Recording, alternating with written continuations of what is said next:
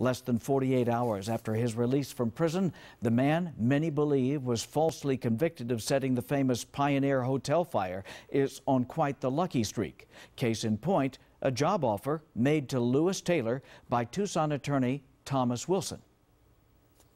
For somebody that could endure what he endured and do what he did and get through it, uh, told me more about him than I could learn from asking him if he works well with deadlines. Wilson offered Taylor any of a long list of full-time jobs at his downtown firm, which happens to be just a couple of blocks from the site of the old Pioneer Hotel.